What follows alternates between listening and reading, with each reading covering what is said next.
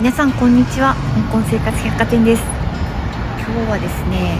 すごいですよ。今日は捨てられた仏像がものすごくたくさんある丘があるんですよ。そこをちょっと見に行きますね。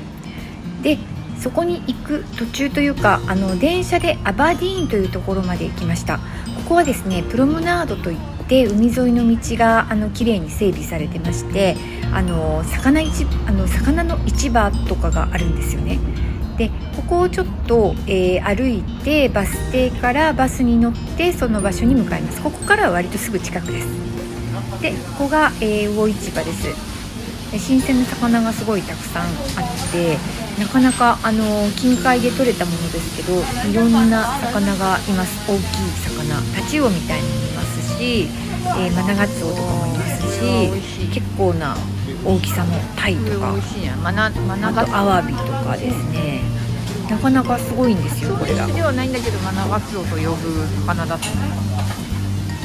ちょっとあの伊勢エビがすごい大きいのがあったのでこれはあの228ドルって書いてあったんですけど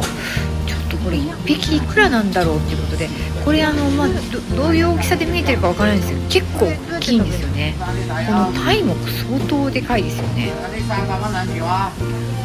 これ多分の重さなんですよね。で1パウンドとかなんで 500g で多分228ドル。つまり、え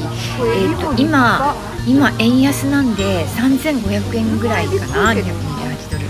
えー、ちょっと前までは3000円ぐらいだった。ね。でちょっとおじさんに値段を聞いてみたりしてま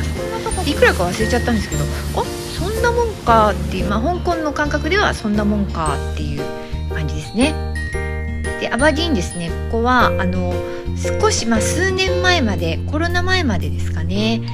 コロナの前にもうなくなっちゃったのかな。あのジャンボレストランっていう有名なここですねあの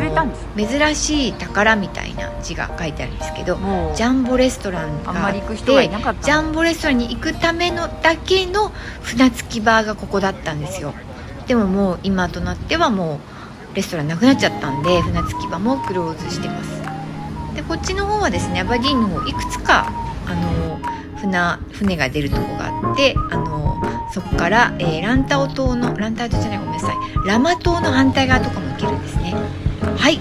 できました。ここあのウォーターフォールパーク。アバディーンのですねもうちょっとあの西の方に行ったウォーターフォールパークというところのちょうど何て言うんですかね一番端っこの方の丘なんですよ。でこれすごいんですよ。ものすごい数の仏像がで仏像だけじゃないんですよね。あのやっぱキリスト教の人もいますからあのキリスト教のそのあのマリア像だったりとか天使像だったりとかキリスト像だったりとかっていうのも実はあってもちろん圧倒的に仏像が多いんですけどでしかも中国香港の仏像ってすごい極彩色っていうんですか？すごい色なんですよ。でここはですね約今から20年前にえっとまあ、伝説みたいな話なんですけどそのおじいさんは今もいるんですが、えっと、ウォン・ウィン・ポーさんっていう人なのかな？でその人がある時道であの捨てられた仏像を見つけたらしいんですよ何個か。でなぜか突然これはこの仏像を安置することが自分の使命だと思ってでその当時のウォーターフォール村のあの人と掛け合ってこの小さな丘にとにかく仏像をたくさん持ってきて安置してるんです。であの香港はですね非常に台風とかが多いのであの仏像あの割れちゃいますから倒れないようにちゃんとその何て言うんでしょう固定してあるんですよコンクリートで。なかなかですねこれだけの数が揃うと本当に圧巻ですよすごくないですか？こうむちゃくちゃ数あるんですよね。であの、まこの丘の敷地っていうのもどうですかね。そんなにすごい広いわけじゃないんですけどもう本当に所狭しと仏像がま、宗教的なもの。これあのみんなあの閉まったお店とか引っ越しでいらなくなったものとかそういうものらしいんですけど置いてあります。